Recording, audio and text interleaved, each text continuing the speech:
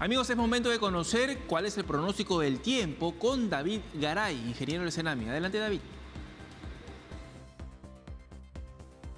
Hola Mafer, hola buenos días a todos nuestros televidentes, bienvenidos a su segmento del tiempo en TV Perú. Vamos a comentarles las condiciones meteorológicas para el día de hoy y los siguientes días. Comenzamos pues con lo que es eh, la región, el, departamento de Lima. Vemos la ciudad de Lima metropolitana en esta situación. Vemos cobertura nubosa, esto también en el contexto de nuestro aviso que mencionaremos más adelante.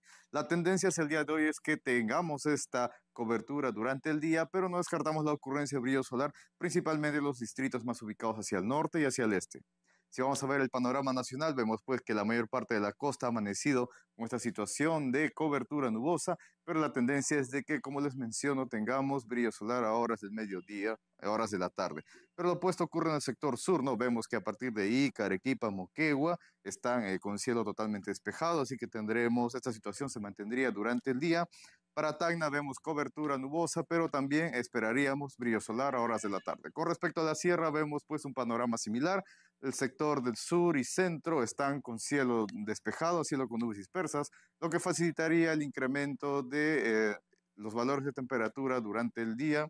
Y hacia el sector norte vemos pues lo opuesto, hay cielo cubierto, lo que también facilitaría la ocurrencia de precipitaciones principalmente a horas de la tarde, noche. El sector de la selva tenemos un panorama similar, las zonas centro y sur están con escasa cobertura nubosa y el sector del norte presenta mayor eh, cobertura, por lo que también facilitaría la ocurrencia de lluvias principalmente a horas de la tarde. Ahora si vamos a ver nuestros avisos meteorológicos. Tenemos pues este incremento de viento en la costa que estaría vigente hasta el día de mañana. Es un aviso de nivel amarillo, un evento de moderada intensidad, por lo que esperamos valores entre 33 a 35 kilómetros por hora.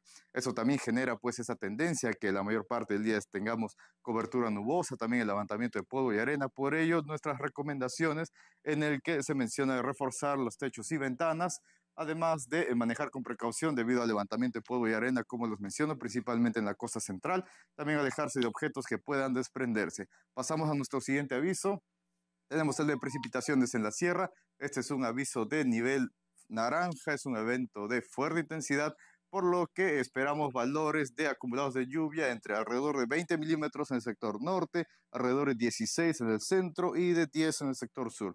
También están nuestras recomendaciones de no exponerse a tormentas eléctricas, evitar estar en la montaña horas de la tarde, informarte del estado de las carreteras y tomar precauciones ante la caída de granizo y acumulaciones de nieve. Con respecto a nuestro aviso de lluvia en la selva, también es un aviso de nivel naranja, un evento de fuerte intensidad, por lo que esperamos valores de alrededor de 50 milímetros en los sectores norte, de 45 en el centro y de 40 en el sur. Ya saben, mis amigos, siempre consulten información de fuentes oficiales, ya que Senami brinda información oportuna y confiable al servicio de la población. Gracias.